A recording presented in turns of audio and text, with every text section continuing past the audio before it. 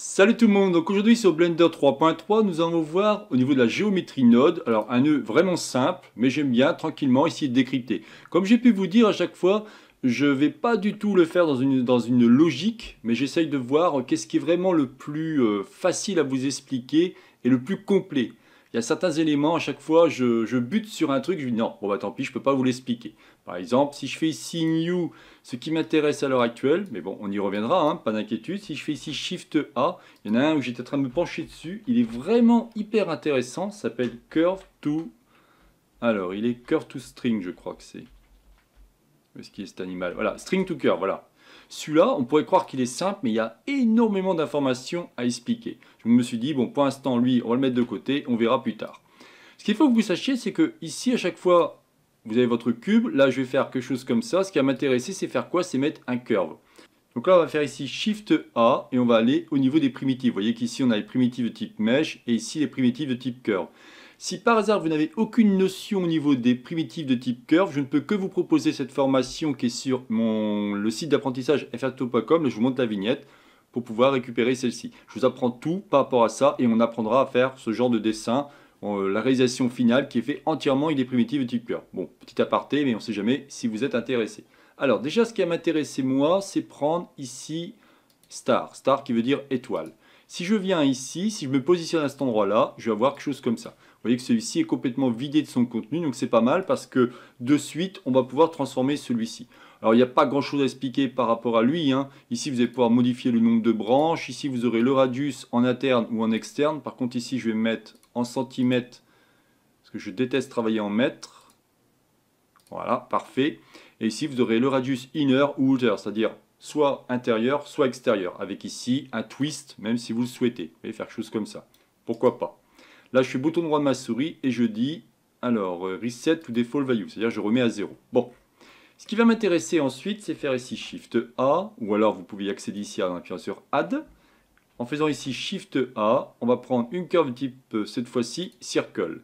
Je la mets ici, et ce que je vais vouloir faire, c'est quoi? Eh ben, C'est joindre les deux. Tout ça, vous connaissez. Si je fais Shift A, je vais chercher ici Joy. Deux solutions. Soit vous allez pouvoir joindre des strings, on verra ça un peu plus tard, soit de la géométrie. Ce qui va m'intéresser, c'est la géométrie. Je me mets ici, et je récupère le deuxième qui est ici. Vous voyez que maintenant, j'ai ça.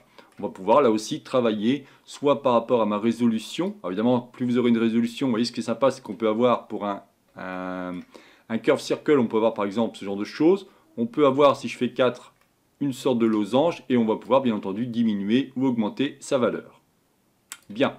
Ce qui m'intéresserait, c'est faire ce qu'on appelle la fonction booléenne. Une fonction booléenne, c'est quoi? Eh bien, si je reviens à cet endroit-là, quand on va ici au niveau du modifieur, là je monte la vignette au cas où si vous voulez savoir ce que c'est, quand vous allez ici dans le modifieur booléen, parce que n'oublions pas que la géométrie node c'est un modifieur, hein, un super modifieur, mais c'est quand même un modifieur.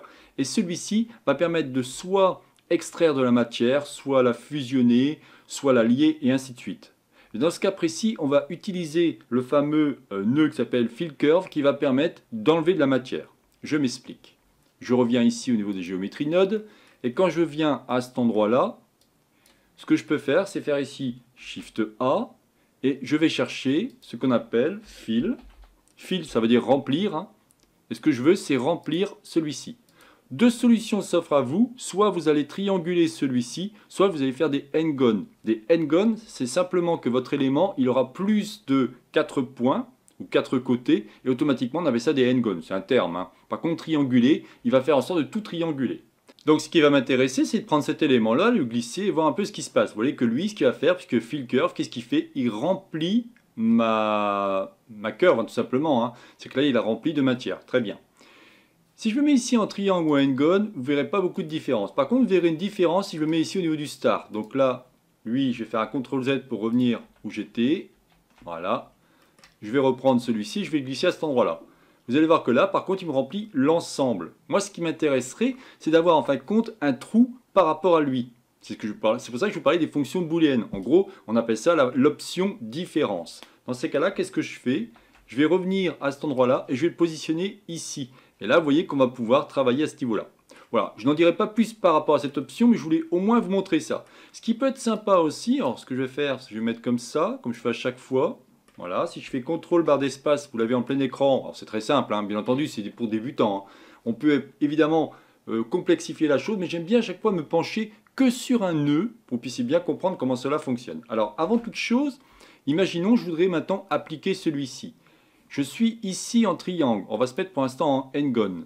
Si je viens à cet endroit-là, je fais Apply, il est appliqué. Très bien. Si je récupère celui-ci, je me mets en mode édition, vous allez voir que bah, c'est pas terrible. Parce qu'en fin de compte, il a, il ok, il a, pas triangulé, il est en n-gon, mais vous voyez qu'on a des traits. il faudrait faire vous-même des traits pour que cet élément-là, si on doit lui donner de l'épaisseur, qu'il se passe quelque chose d'intéressant. Parce que là, bah, c'est pas top top. Donc là, je reviens en arrière.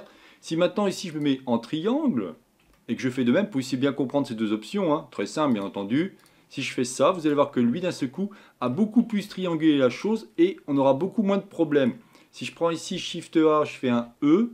Si je fais quelque chose comme ça, vous voyez, on aura beaucoup moins de problèmes. Alors bien entendu, c'est pas top top non plus, mais déjà, ça peut vous montrer la différence qu'il y a par rapport à lui. Et comme je vous dis, c'est très simple.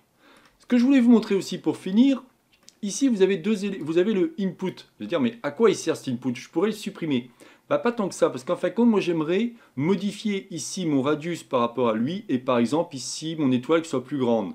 Dans ces cas-là, je vais pouvoir prendre ici donc le, euh, ce losange, c'est lui, c'est donc le radius. Je prends lui, bouton gauche de ma souris, je vais j'ai un petit plus, je viens ici. J'appuie sur la touche N et au niveau de l'onglet ici groupe, double-cliquez ici, je vais l'appeler diamètre. Par exemple, losange. OK Et ce qui est génial, c'est qu'automatiquement, bien entendu, si vous ne l'appliquez pas, hein, vous allez pouvoir modifier celui-ci au gré de ce que vous souhaitez faire. Vous voyez, c'est pas mal. là aussi, on va pouvoir créer une espèce d'animation avec des clés d'animation. C'est appuyé sur la touche I ou si vous cliquez ici sur le petit point, c'est marqué Animate Properties pouvez faire de même par rapport à l'étoile. Donc stars, alors on pourrait dire le outer, ça veut dire l'extérieur. Et si je viens ici, je vais cliquer sur cet élément-là, je vais l'appeler diamètre extérieur.